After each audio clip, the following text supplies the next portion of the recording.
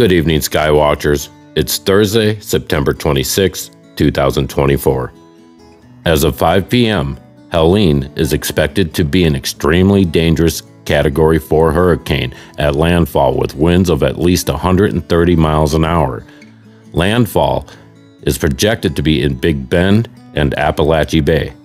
Winds are expected to extend more than 300 miles from the center of this very large hurricane. The National Weather Service has predicted 10 to 25 foot storm surge, 110 mile an hour winds, and 20 inches of rain.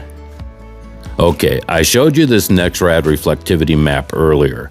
Notice how all the blue pulses west of the storm create a wall, essentially, seemingly, to guide this major hurricane and all those sustained beams charging the electromagnetic forces. So let's take a look at the current radar view and see what's happening.